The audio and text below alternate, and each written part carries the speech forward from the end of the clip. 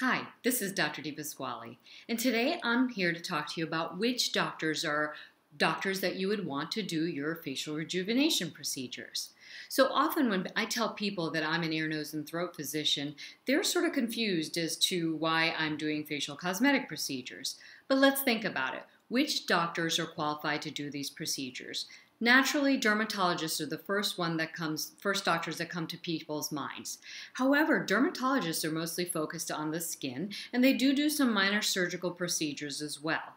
They also treat rashes and bumps and things like that, and they're also doing a lot of skin cancer treatment. The other doctors that are capable of doing facial rejuvenation procedures are plastic surgeons. Obviously, they do they do procedures on the face, they do procedures on the body as well.